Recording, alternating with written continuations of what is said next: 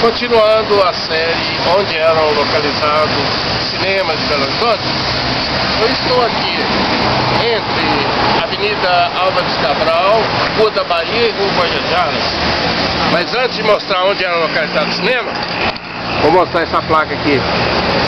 A minha vida é esta, subir Bahia e descer Floresta. Imortalizou essa frase o compositor mineiro Rômulo Paz.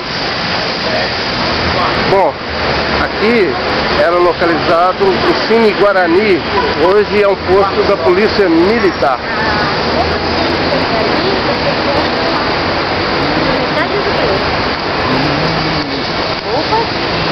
Fica na Avenida Alves Cabral, com a Rua da Bahia, e ali embaixo, ali está o edifício Maleta.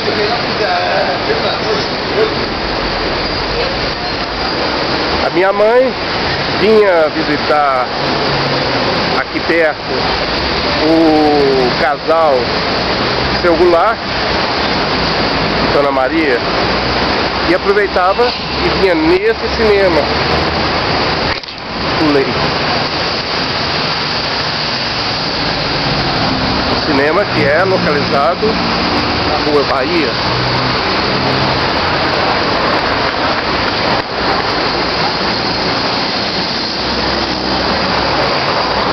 Praticamente a data do meu aniversário, número de 1201.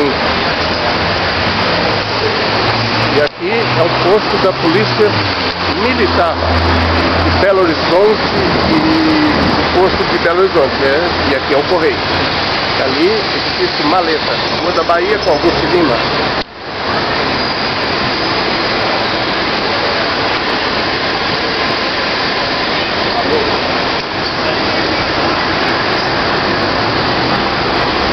Ônibus está indo lá para o aeroporto.